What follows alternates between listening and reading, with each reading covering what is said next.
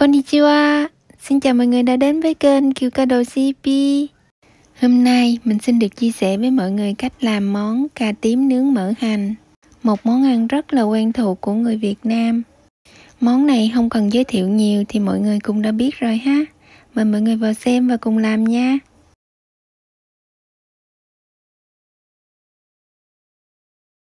Để làm món này mình đã chuẩn bị hai quả cà tím và 200g thịt, thịt heo xay sẵn ha. Thịt heo ở đây mọi người có thể thay thế bằng tớp mỡ nha, vì nhà mình không có ăn mỡ nên mình sử dụng thịt heo này. Một quả chanh, hai quả ớt, vài tép tỏi và vài cọng hành lá. Trước tiên mình sẽ cắt quả cà tím này ra làm đôi. Nếu mọi người sử dụng cái quả cà tím nhỏ hơn thì mình có thể để nguyên nha. Quả cà tím của mình hơi to nên mình cắt ra làm đôi.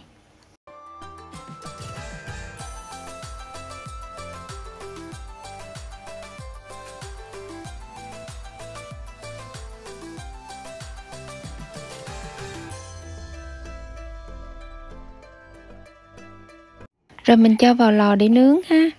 Mình nướng bằng bếp ga, nướng trong vòng 9 đến 10 phút. Trong khi chờ nướng cà tím thì mình sẽ bầm tỏi ớt ra. À, tỏi ớt thì một nửa mình sẽ um, à, làm nước mắm và một nửa tỏi thì mình sẽ à, cho vào um, à, chảo để phi cho thơm ha. Phân nửa tỏi mình sẽ à, đập dập ra và bầm nhỏ để đem đi phi. Còn một phần nữa thì mình sẽ để nguyên như vậy và cắt nhỏ ra để làm nước mắm ha.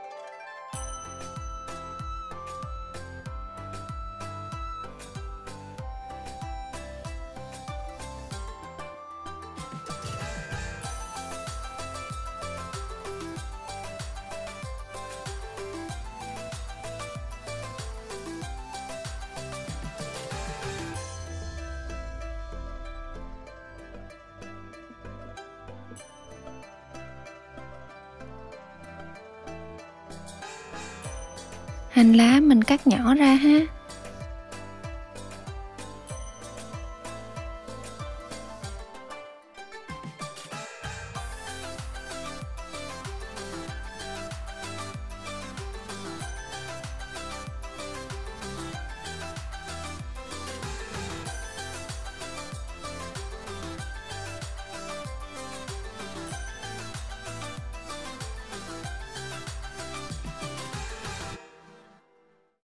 Chanh mình sẽ dùng tay lăn như thế này nè, lăn trên cái ờ, cái bàn đó.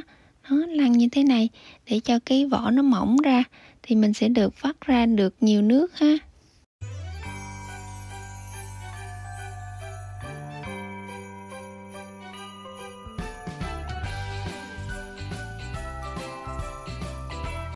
Chanh này mình được một chị bạn, nhà chị trồng chỉ cho mình nè chanh mà cái cái vỏ màu xanh á, nó thơm lắm mọi người.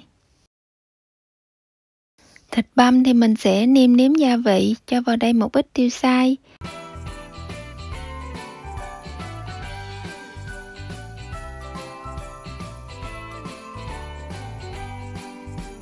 nửa muỗng cà phê muối.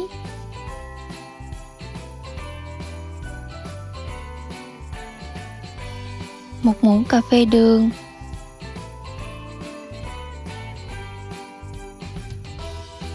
Một muỗng cà phê bột nêm. Rồi trộn đều lên, để ở đây khoảng 5 đến 10 phút cho thịt thấm gia vị ha.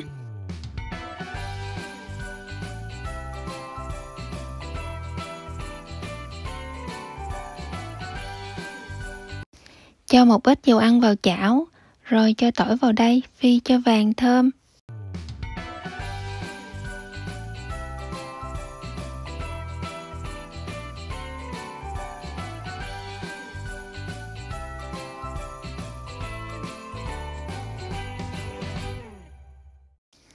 Và bây giờ tỏi đã thơm rồi nè. Mình nhìn thấy cái màu hơi vàng nhạt như vậy là được rồi ha. Mình tắt bếp nha. Cho vào đây một tí xíu muối, rồi một muỗng cà phê đường. Trộn đều lên, rồi mình cho cái dầu tỏi phi mình vừa phi xong đó, mình cho vào đây ha.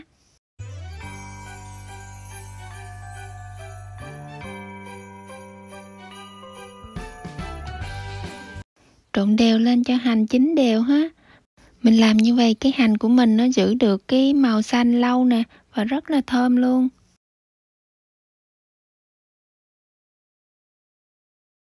Cuối cùng mình sẽ cho vào đây một muỗng cà phê bột nêm. Khi nấu ăn á, mình nên cho bột nêm vào cuối cùng, rồi tắt bếp luôn. Đây là cái bí quyết nấu ăn của má chồng mình dạy cho mình đó. Cái chảo lúc nãy mình vừa vi tỏi đó, bây giờ mình cho thịt vào đây. Lúc này mình vặn lửa nhỏ thôi và trộn đều lên. Chứ để um, để cho cái thịt này nó tơi ra đó, nếu mà mình vặn lửa lớn thì cái thịt nó sẽ um, chín mà, nó nó chín cháy đó và nó sẽ bị dính lại ha. Mình trộn đều lên nha. Ở nhà mọi người nếu mà không có thích ăn tớp mỡ giống mình á, thì làm thịt như vậy ha. Còn nếu mà thích ăn tớp mỡ thì thắng tớp mỡ nha thịt của mình hơi tái tái như thế này, mình sẽ cho vào đây một ít nước. Đó, mình trộn đều lên để cho nó dễ tơi ra nha.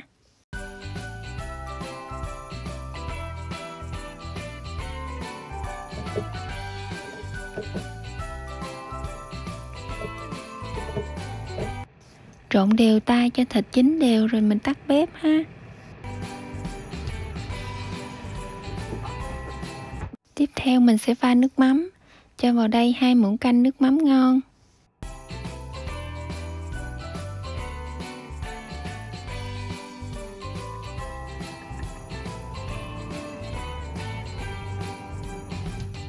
Ba muỗng canh đường.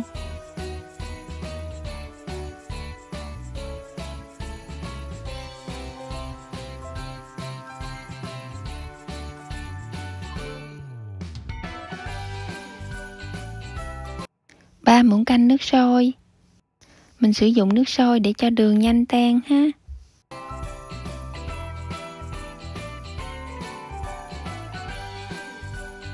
Và cuối cùng là hai muỗng canh nước cốt chanh.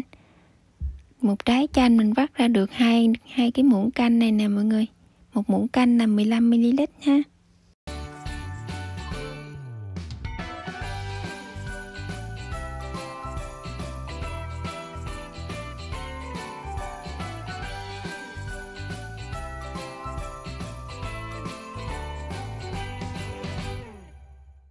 Quậy đều lên cho đường tan ra.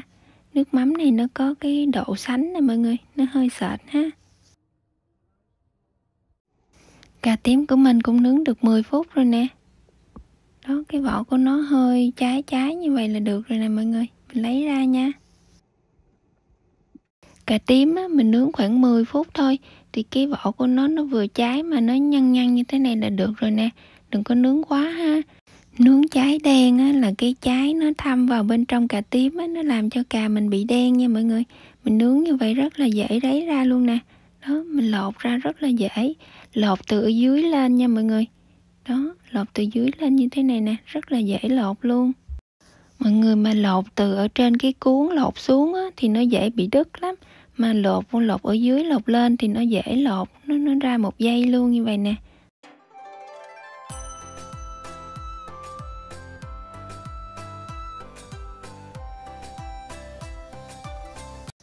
Lột vỏ cà tím ra rồi mình sẽ dùng cây nĩa như thế này. Xăm vào cà tím, rồi vuốt, kéo dài xuống dưới. Đó, cho nó nhuyễn ra ha. Một tay nắm giữ phần cuốn lại và một tay xăm vào kéo xuống như thế này ha.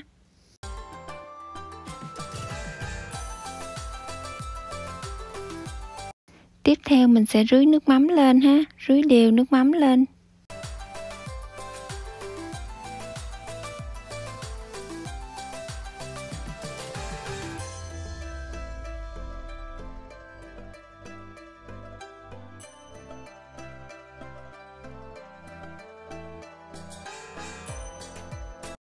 Kế tiếp là thịt băm, rải đều thịt băm lên đây.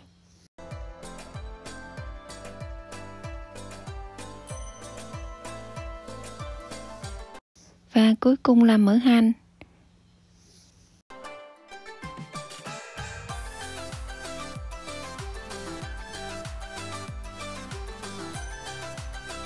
cuối cùng để cho có cái màu xanh xanh đỏ đỏ đẹp thì mình rưới thêm một ít nước mắm lên nữa như vậy là món cà tím nướng mỡ hành của mình đã hoàn thành xong. Clip của mình xin được tạm dừng tại đây. Cảm ơn mọi người đã chú ý theo dõi. Nếu thấy thích hãy nhớ ủng hộ mình bằng cách bấm like hoặc share và đăng ký cho kênh của Kiều Cado CP để khi mình đăng clip mới, mọi người sẽ được xem đầu tiên. Mọi thắc mắc hay đóng góp ý kiến, xin vui lòng comment bên dưới clip. Rất mong nhận được sự ủng hộ của mọi người để mình có thêm động lực làm nhiều clip khác hấp dẫn hơn nữa nha. Hẹn gặp lại mọi người ở các clip sau. Saigo made mite kurete. Arigatou gozaimasu. Mata ne.